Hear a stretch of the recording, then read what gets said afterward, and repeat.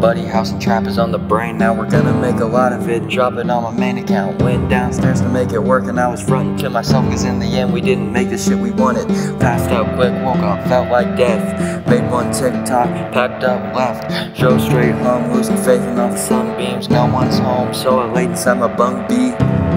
Bunk BED. Started working on a project that was fixing me. So I opened up my phone and hit record and started venting to the camera. And I said some shit on R-E-G, R-E-T. And then I put it in the short film, Beta ran public. Now I'm talking to the chords and I feel bad, but I was just complaining. I don't hate you as a person, sorry. I was just complaining and you know I love you both.